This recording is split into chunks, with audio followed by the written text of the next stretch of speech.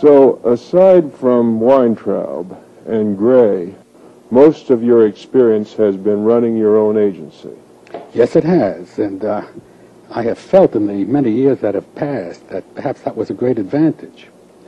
Uh, there's a wonderful uh, story told about Mr. Ross, the original editor of the New Yorker, the famous editor. And I think it was Thurber who said about him he was such a great editor because his mind was uncluttered by culture. Perhaps my mind was uncluttered by the conventional knowledge about advertising, and I was able to go at some new and fresh points of view. You hadn't picked up any bad habits, it? No, I hadn't. Well, tell me, you started the agency in, 1950 in 1949. 49. When did you begin to feel that the agency was a success? Well, I really began to feel that after, you know, our first account was Ohrbach's. Right. And uh, after we ran our first Ohrbach campaign, uh, the phone began to ring. And I have learned that uh, what you think is going to happen doesn't matter too much. It's what happens that counts.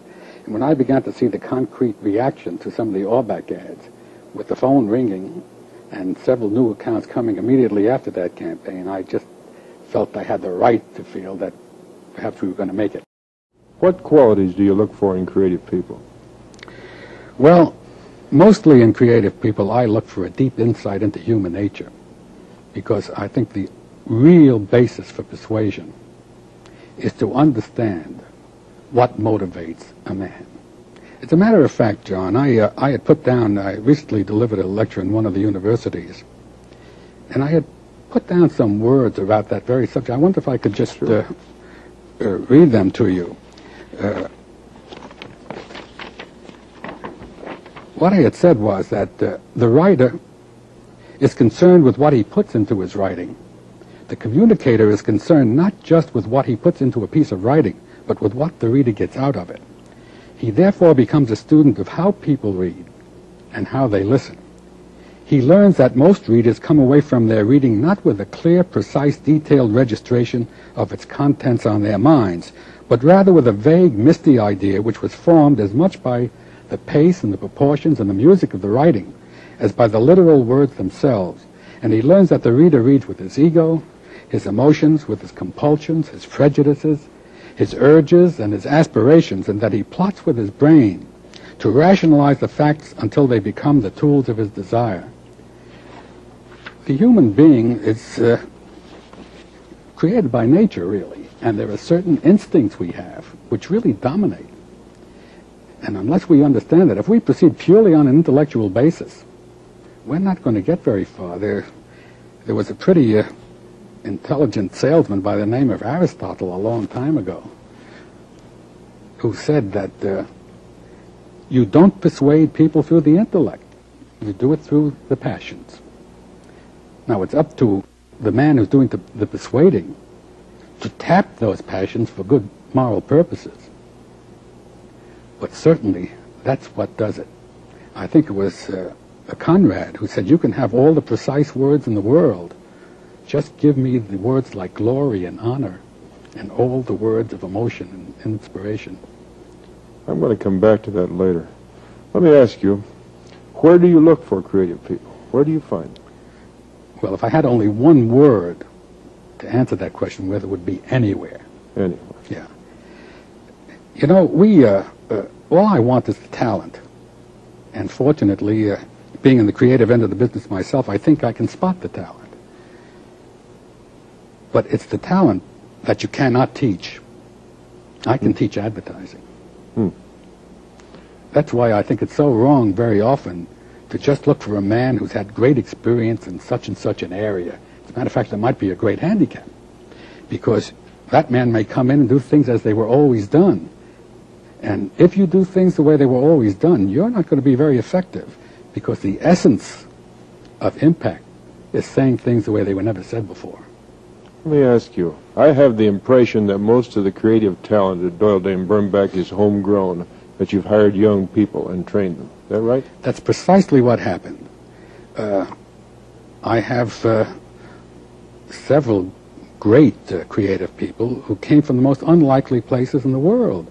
One came to me originally from a place called Broadway Maintenance with a dog-eared little folder he had done but I spotted a freshness in his putting together of words, in his concepts. He became Bob Levenson, who- was one of the great creative directors. I took Phyllis Robinson, who was our first copy chief, out of the promotion department of an agency, and she wasn't considered good enough at that time to be in the national department. I know of no one who's better than Phyllis Robinson. We don't have the proper standards in picking our creative people. We have to go by symbols, and you know symbols can get you in trouble. I love to tell that story, a uh, uh, true story. It appeared in Science magazine about this great experiment when eight very, very intelligent uh, men were put into, a, into several uh, mental institutions. They were very sane men, but the experiment called for putting them down as schizophrenics. And the purpose of the experiment was to find out how long it would take the staff to discover that they were normal people. Well, you know, it wasn't long before the real inmates of the Institute suspected that these were real sane people. But the doctors, during the entire stay of these normal people, never suspected. Now, what happened there was that word schizophrenics Hmm. became a symbol, They're conditioned. and The they were are conditioned conditioned. by the word. So you have to be very careful about uh, Let me ask you a question. Is academic background important in creative people? no.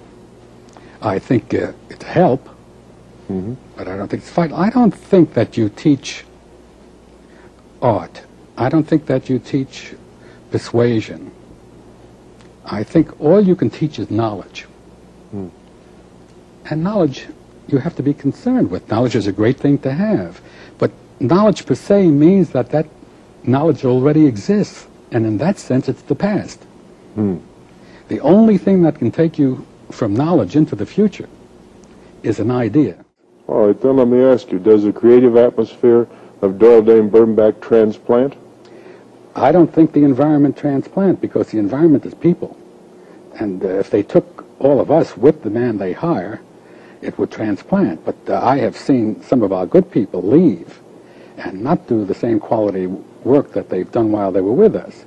There's uh, a relationship between uh, the management with the creative management, indeed between the whole management and the creative person that just can't be ignored if a man uh, feels inspired, if he's uh, been given good guidance, if he's been given fundamentals, you see, you can have great talent and do poor advertising Without the discipline. without the discipline.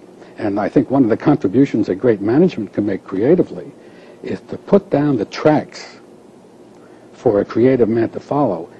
But at the same time, he must understand the problems of the creative man.